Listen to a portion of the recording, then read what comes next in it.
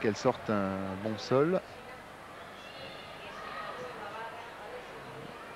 Elle ne sera pas championne d'Europe, c'est évident, mais peut-être le podium. C'est tout à fait possible.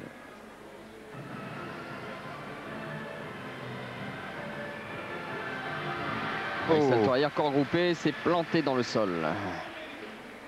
Il va vraiment falloir qu'elle fasse le, le maximum, Ziganchina, si elle veut monter sur ce podium. Ça ne sera que la troisième place, très vraisemblablement. Oui, avant. Oh, Oui, à la oh. sortie, dommage, un dixième de pénalité.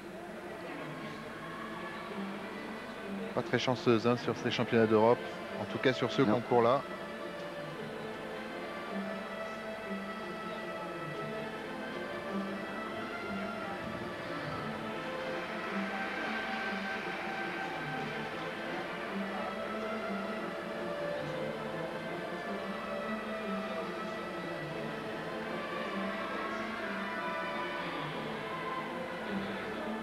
Tempo triple gris, c'est bien.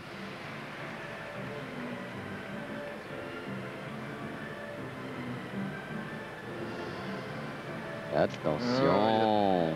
Je sais pas si elle y croit encore, euh, Ziganchina. Il faudrait car un 9 euh, 246 suffirait à son plaisir. Double arrière carpé. Il y avait de la difficulté en tout cas. Ah, on va souffrir pour elle hein, en attendant le verdict. Hier, elle avait réalisé 9,387 Et au sol.